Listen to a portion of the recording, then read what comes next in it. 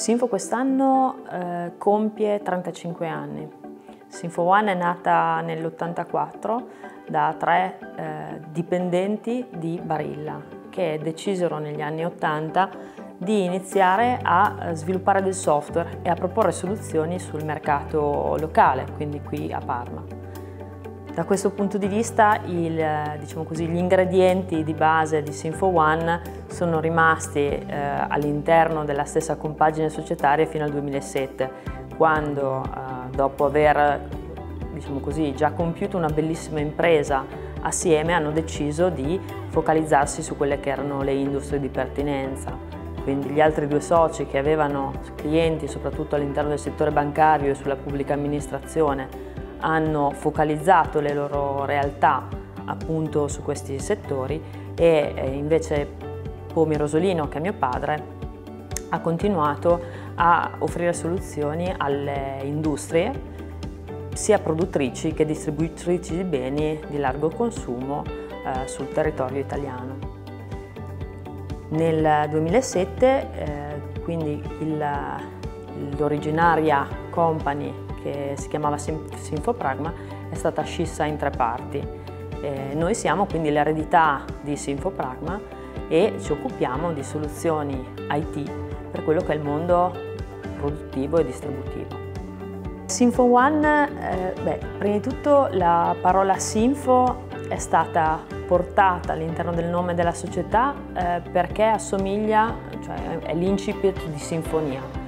Eh, già negli anni 90 questo nome aveva diciamo così, eh, preso, preso, parte della ragione sociale di, di, quella che poi è diventata Sinfo One proprio perché eh, si pensava, Pomi pensava, che eh, il nostro lavoro è un lavoro corale. No? Eh, si mettono a disposizione dei nostri clienti tanti talenti, tutti diversi e quindi questo è molto simile a quello che è concetto della sinfonia all'interno della musica. Quindi sinfo deriva proprio da sinfonia. Il one è stato introdotto perché sinfo era una, così, un nome già registrato all'interno delle varie società italiane.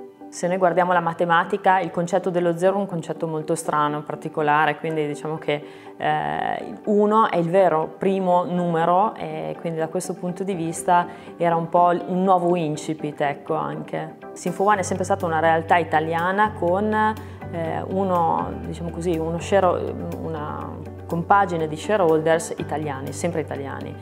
Eh, nel ottobre del, 2000, del, del 2018, quindi dell'anno scorso, Sinfo One ha aperto la possibilità di entrare sul, nel capitale a due realtà, una è tedesca e l'altra è di origine francese. Quindi il cuore di Sinfo ormai è diventato veramente internazionale. Il cambiamento è eh, allo stesso tempo eh, piccolo e invisibile dall'altro dal, dall punto, di vista estremamente innovativo e sicuramente eh, fonte di disruption.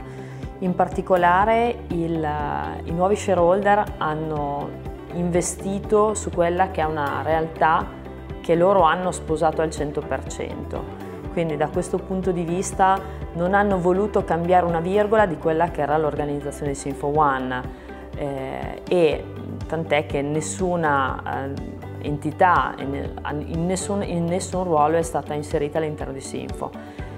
Da questo punto di vista però noi ritroviamo all'interno di questi nuovi shareholder una forza che da soli facevamo fatica ad ottenere.